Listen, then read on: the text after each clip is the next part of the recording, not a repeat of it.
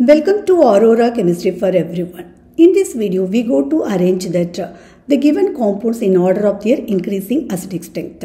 Propanol, 2,4,6 trinitrophenol, 3-nitrophenol, 3,5-dinitrophenol, phenol, 4-methylphenol. So you can see the structure of all these compounds to understand that acidic strength.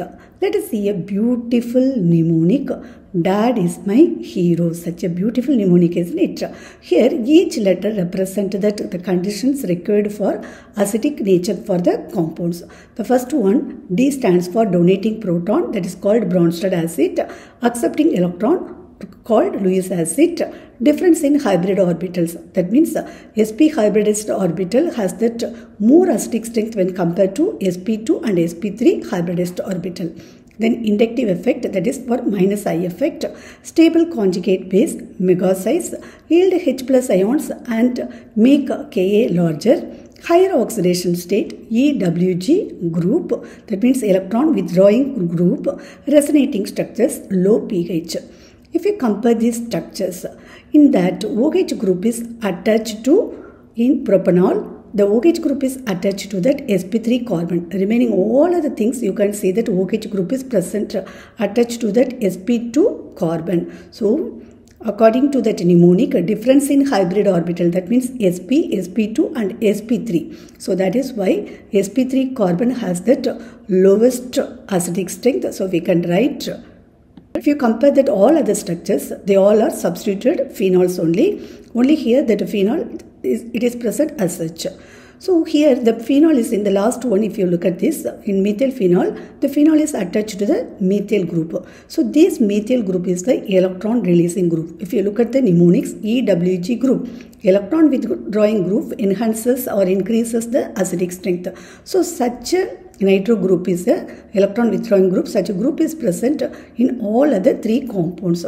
So because of this ch3 group the acidic strength of the phenol decreases. Next to the propanol we can write that acidic strength for that methyl 4 methyl phenol. Then the next one is phenol because it does not contain that any substituted compounds. Now, if you look at the remaining three compounds, remaining three compounds that nitro group is attached. So, nitro group is a electron withdrawing group. It enhances that delocalization of negative charge in the phenoxide ion. But such a delocalization is very effective if that nitro group is present in ortho and para position. So, when compared to the meta, ortho and para positions, if the electron withdrawing group is present, the acidic strength is very high. So, next to that uh, phenol, now 3-nitrophenol has that uh, little more acidic strength. Then after that, uh, we have disubstituted nitrophenol in the meta position.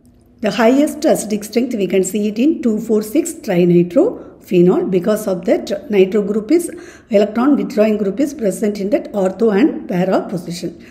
So the increasing order of acidic strength of the given compound is propanol, 4-methylphenol, phenol, 3-nitrophenol, 3,5-dinitrophenol, then 2,4,6 trinitrophenol. Thanks for watching.